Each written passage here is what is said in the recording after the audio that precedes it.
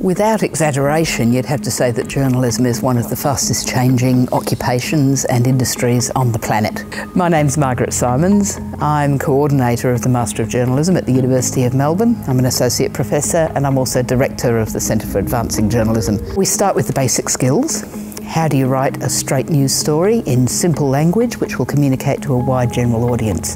How do you go about gathering the information to write that story, primarily through interviews? I was attracted by the uh, 2D Master Journalism uh, because I get to um, learn from industry leaders. My name is Amber Ziawan. I'm studying Master of Journalism at the Graduate School of Humanities and Social Sciences.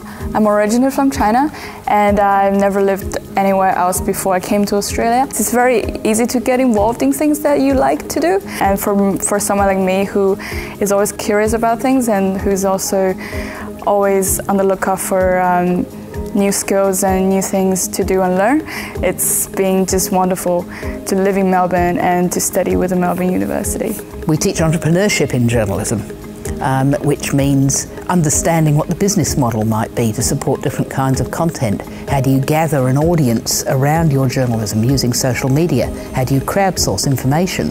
We teach video and audio skills. We have an internship subject which is extremely popular and at any one time we have interns right across the industry in Australia and some overseas as well. And then we also have our newsroom subject which is based around our in-house publication, The Citizen, which is an industry standard web-based publication which has won awards. We often co-publish with outlets such as The Age, the ABC, The Guardian.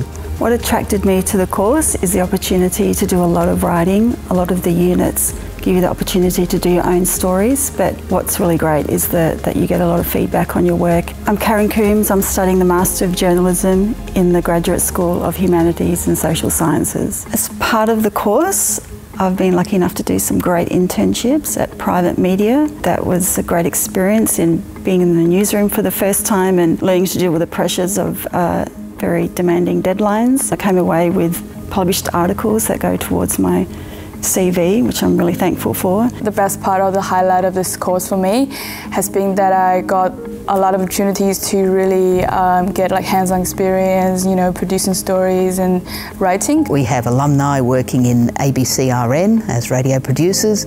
We have an alumni working in the Sydney Bureau of a Japanese newspaper. We have alumni working right across rural Australia in both newspapers and television and in any number of uh, small web-based startups. I went into journalism myself as a 21-year-old because I thought it was about writing for a living and I wanted to be a writer. It is about writing for a living, but much more than that, it's about finding things out for a living.